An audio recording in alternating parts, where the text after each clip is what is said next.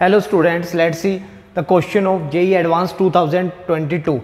In this question, the treatment of an aqueous solution of 3.74 gram of uh, copper nitrate CuNO3 whole twice with excess of Ki results in a brown solution along with the formation of a precipitate and when we pass H2S gas through this brown solution then we will get another precipitate and we have to find out the mass of this second precipitate. So first of all we have to understand which reactions are uh, proceeding in this question, which reactions are involving, which chemical reactions are involving in this reaction uh, in this question. So first of all copper nitrate CuNO3 whole twice that will react with Ki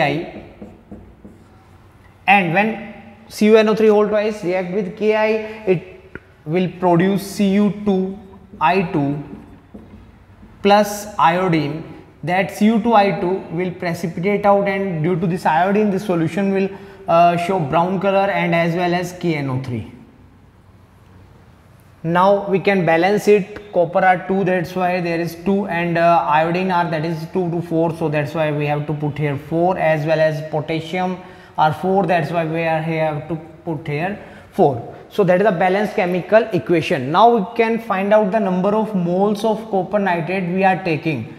So moles of copper nitrate CuNO3 whole twice are the equal to mass by molecular weight. So what is the mass we are taking? We are taking 3.74 gram. We are taking 3.74 gram upon molecular weight. Molecular weight of copper nitrate will be equal to 187 so when we calculate it, its answer will be 0.02. So we are taking copper nitrate mole are 0.02. So if we are taking its mole 0.02, then how many mole of uh, that is U2I2 will produce that will be 0.01. How?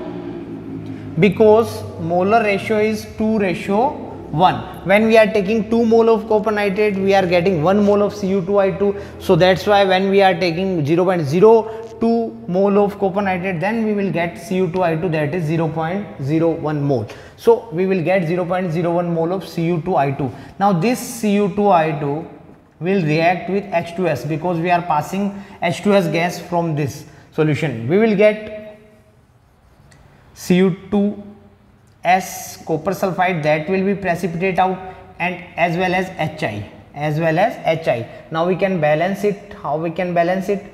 We have to put here just 2. Okay, so that is the second precipitate. CH2S is our second precipitate and we have to find out the mass of Cu2S because we are taking Cu2I2 0.01 mole.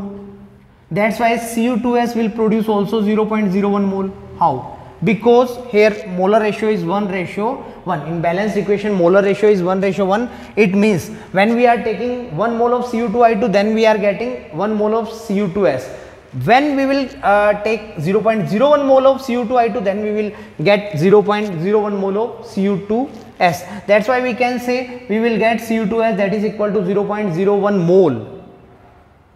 But we have not find out the mole. We have to find out mass.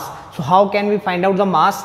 So mass will be equal to mass mass of which Cu2s precipitate will equal to number of moles 0.01 into molecular weight of Cu2s. Now what is the molecular weight of Cu2s? We all know the molecular weight of Cu2s we can calculate that will be equal to uh, 158 158 gram. So our answer will be 1.